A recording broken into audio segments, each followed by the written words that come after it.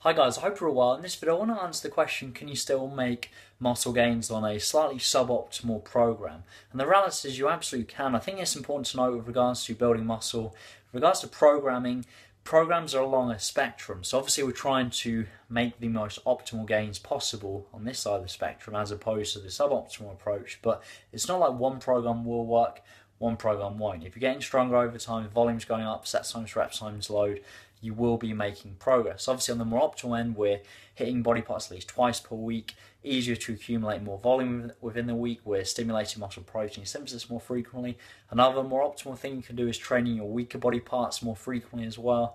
Whereas on the sub- suboptimal end, we've got people training body parts once per week, more of the old school style approaches. But the reality is, another, there's a lot of people that enjoy training like this, and as such, if they can adhere to this over the longer term, they're still going to make progress. Even though striving to be more optimal, if people enjoy it this